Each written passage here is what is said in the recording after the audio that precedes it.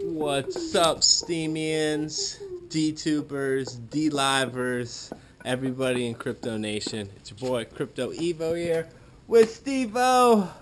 And look at the toy that I brought out today. Bringing the drone out. Thought I would decide to uh, fly because look, look how beautiful. Beautiful. Hold on, time out. Look how beautiful it is out today. it is just downright gorgeously beautiful. And when we're waiting for cryptos to go to the moon, you gotta live life, you gotta enjoy life, and the weekends and Mother Nature are the best combination. Amen. Right? You would have to agree. Fresh air. You would have to agree. Some fresh air. We actually had a hell of a breakfast this morning. So we got some energy to burn. Well, tons of carbs, but still energy to burn. And nothing's better than sitting and watching a drone do some physical activity. So let's let's see what this thing's got. You Want to hold the seat? Yep. All right. Like I said before, Steemians, I've been trying to figure out how to make my video content or my video quality a lot better on my drone. For some reason, the photos come out looking great, but the videos look like shit. Shit quality.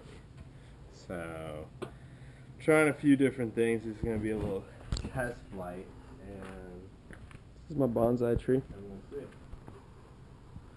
Looking good. Yeah, that's, no, that's a money tree, not a bonsai tree. Serious.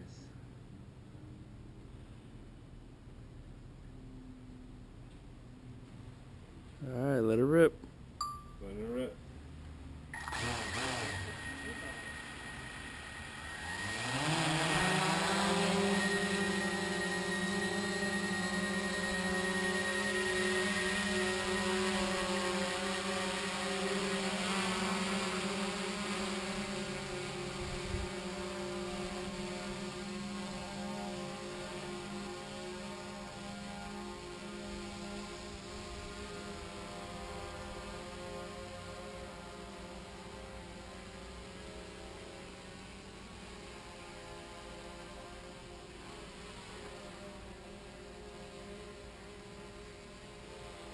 The super spy machine.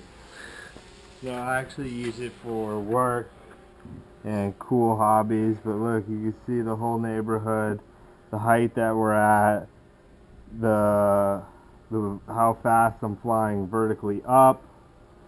Obviously, I can't go over um, 400 feet up, but I'm at 139 feet, and I can pretty much see my whole my whole neighborhood. I can see a little map of Avalon. It's hard to see in the video. What? In the camera here. Oh, in the camera that I'm in right now, or the GoPro. Yeah. And I can't look up. It's too sunny. It's, it's very bright. Alright, we'll turn you back on when Uh, we get down. All right, see you, man. I'll show you a video later. All right.